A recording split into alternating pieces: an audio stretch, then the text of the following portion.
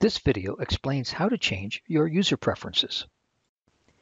You have the ability to customize portions of the TMS system based on your individual user settings. Go to the System tab and then the Users menu and the Manage Users submenu. This will show a grid of existing user profiles. Choose your user profile by double-clicking on your user ID in the grid. In the main screen, you can modify your username and title, your email addresses. Don't forget to click the Update button whenever you make a change. You can also update your phone numbers, your home address, and the hours of operations you work. For instructions on how to modify your hours of operation, see the Hours of Operation video in the Help menu. To customize the TMS, go to the Settings tab at the top of the screen. If you are defined as a regular user, you can only modify the first six groupings of settings. Single-click on a setting title to display all the options within that group. Each setting is fully documented. If you click on the setting name, it will show you documentation on what this setting means, as well as what each option means. Whenever you change a setting, you must remember to click the Update button to save your change. The User Email Settings group is a way to control how the system can send you automatic emails based on actions within the TMS.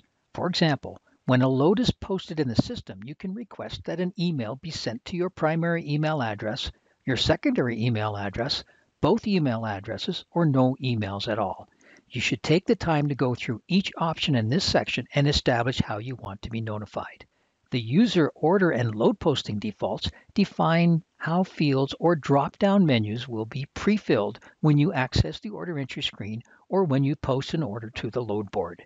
The vehicle search defaults define how fields or drop-down menus will be pre-filled when you access the truck search screen for example, what is the default search radius and what is the routing type to use? The color preferences defines the colors the system will use when presenting information. As an example, if you wanted a different background color, first choose the main color from the rainbow palette at the bottom of the area. Then drag the dot to the shade within that main color. Click Update and then refresh your browser to see your new background. We recommend that you choose your own background color, but leave all the other color settings to the default set here. The general preferences have some general settings. The most important one here is how you want the maps to appear. Choose from road, satellite, or hybrid. Each time you see a map in the system, it will use this option. The salesperson options only apply if your user profile is set up as a salesperson. The remaining settings groups identify your rights and permissions within the system. You can always view your settings, but only administrative users can modify these settings. You should spend some time to explore all the different setting options and then customize your profile to improve how the system works for you. The TMS system is very dynamic, so over time, more controls will be put in the settings area to help you customize the system and improve your user experience. Check this area often for new and exciting options.